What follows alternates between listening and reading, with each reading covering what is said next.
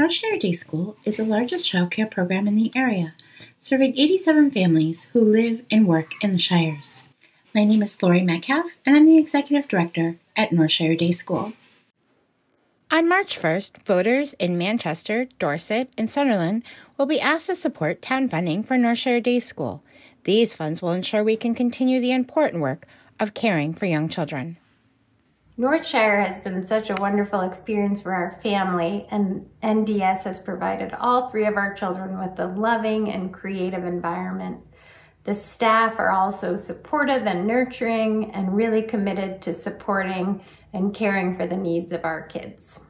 More broadly, they provide so much more for our community. Childcare allows many working parents to remain engaged in the workforce and quality early childhood education, in particular, is essential to fostering the development of kids who really are the foundation for a healthy, productive, and successful Vermont. Our dedicated early childhood educators are the workforce behind the workforce in the Northshire community. When you vote yes on March 1st, you're saying yes to essential workers, local businesses, and the Northshire economy.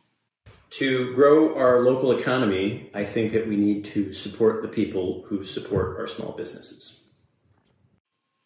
When you invest in childcare, you invest in your community.